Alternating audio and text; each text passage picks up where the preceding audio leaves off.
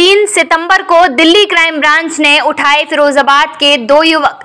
थाना प्रभारी दक्षिण के प्रयासों से सकुशल घर वापसी। दोनों युवकों के परिजनों ने जताया आभार, शॉल उड़ाकर किया सम्मान, आभार व्यक्त।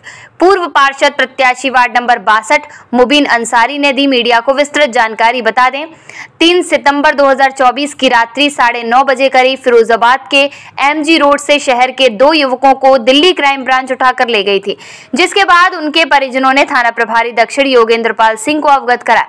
अपना वाहन उनके प्रयासों से उक्त दोनों युवकों को काफ़ी मशक्कत के बाद वहाँ से 4 सितंबर की शाम साढ़े छह बजे रवाना किया गया।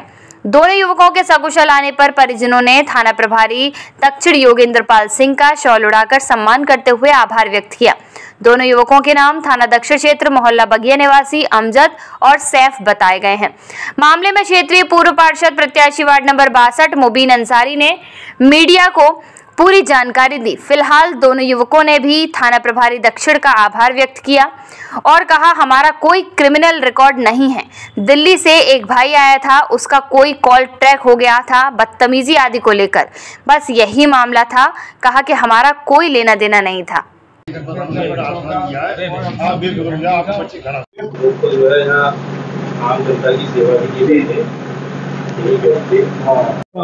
मेरा नाम अमजद है। क्या मामला था ऐसा था एम रोड पान खाने गए थे पान की दुकान कौन कौन पर मेरे साथ सैफ था हम दोनों थे। हाँ जी एक कार आई स्विफ्ट डिज़ायर उसमें पाँच लोग थे। पाँचों लोग आए। हमारे साथ एक हमारा भाई भी था दिल्ली से आया हुआ था वो। प्रोग्राम था घर पे। तो हम लोग पान खा रहे थे बातें कर रहे पाँच लोग गाड़ी में सोते एकदम हमारे पास आके हमारे हाथों में हथकड़ी लगा दी। जीप में हमें स्विफ्ट में डाल के ले गए। हमारी बाइक भी थी। हमने कहा बाइक खड़ी तो हमारी बाइक भी वो साथ में ले गए। उन्होंने एक घंटे हमें शहर में घुमाया उसाइनी की तरफ़। हमें बहुत टॉर्चर करा उन्होंने, कि कहाँ रहते हो, क्या है, ये सब कुछ करके। फिर हमसे कहते हैं, आप लोगों को दिल्ली जाना पड़ेगा। मैंने, सर, हमारे घर पे इतला कर तो उन्होंने इतला भी नहीं करने दी। हमें सीधे दिल्ली क्राइम ब्रांच में ले गए, तीन बजे रात के हम पहुँच गए। हमसे कहते हैं, आराम कर लो आप लोग। सुबह आप दस बजे चले जाएँगे यहाँ से। सुबह दस बज गए, कोई खबर नहीं। सर, हमने कि सर, हमारे घर पे इतला कर दो। तो साढ़े दस बजे हमारे घर पे इतला करी गई। तो फिर यहाँ के जो एसओ फिर, एसओ हैं यहाँ के, थाना दक्षिण के, उनके पास फ़ोन गया। तो उन्होंने हड़कम मचा दिया पूरे शहर में। बहुत दिक्कत हुई हम लोगों को। शाम को साढ़े छः बजे वहाँ से रवाना कराए। और बहुत हमें टॉर्चर नहीं करा गया मगर हमें दिक्कत बहुत हुई। पूरा हमारा परिवार परेशान था पूरे शहर में अफरा तफरी का माहौल हो चुका था। क्या क्या वजह रही?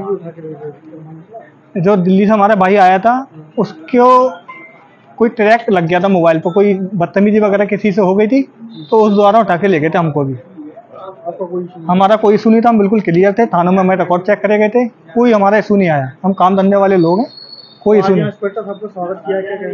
बहुत खुशी थी हमारे घर वालों को। तो हमारे वालिद वगैरह सब लोग आए हुए हैं। इंस्पेक्टर साहब का शुक्रिया अदा करने हम लोग बहुत खुश हैं। अपने घर पे आ गए। मम्मी पापा से मिले। बहुत खुशी का माहौल है घर में। क्या कहना चाहेंगे? उनके लिए हम बधाई देना चाहेंगे। वो जितना शुक्रिया हम उनका करें वो कम है। वो हमारे बहुत अच्छे थाना जो के ऐसो हैं। बहुत ध्यान रखते हैं हमारे पूरे इलाके का वो। उन्होंने पूरी रात हमारी सेवा में कर दी।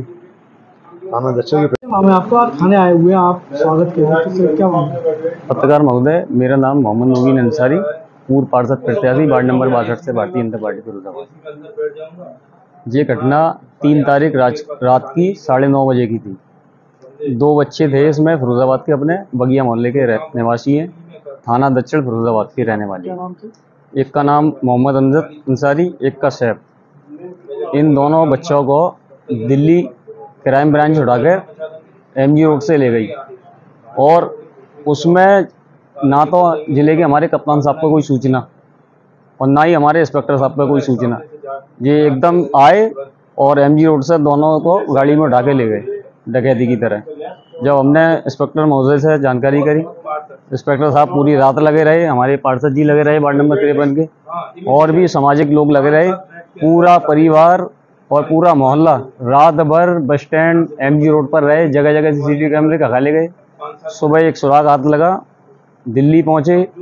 दिल्ली से कल रात को अमजद को और सैफ को क्राइम ब्रांच से लेकर आए। उन्होंने ना तो हमारे वरिष्ठ अधिकारियों को सूचना दी थी और हमारे जो बच्चे थे, दोनों बिजनेसमैन थे ये एक का चूड़ी का फर्म है, एक का सैफ का बैटरी का काम है और इनका कोई क्रिमिनल रिकॉर्ड नहीं है। बेहतरीन फैमिली के रहने वाले हैं। कैसे बरामद हुए फिर ये? कैसे जानकारी मिली? इंस्पेक्टर महोदय ने हमें बताया सुबह। मैं थाना दक्षिण थाना दक्षिण फिरोजाबाद।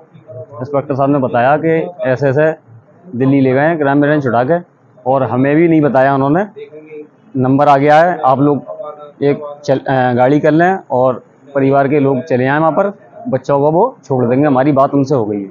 जब हम पहुँचे तो उन्होंने दोपहर को दो बजे करीब पहुँच गए थे। अच्छा हमारे कल जुमा भी था तो सारे लोगों की नमाज़ जुमे की भी छूट गई। जुमा, ये लोग बातचीत होने के बाद में ये थी कि जाते ही बच्चे आपको मिल जाएँगे।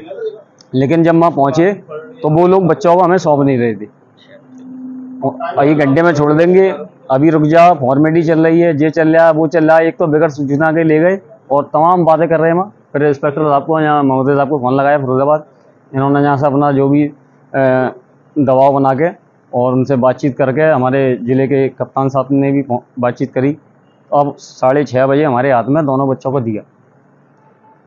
आज हम थाना दक्षिण इंस्पेक्टर साहब के पास, परिवार के साथ उनका शुक्रिया अदा करने आए थे, सारे लोग।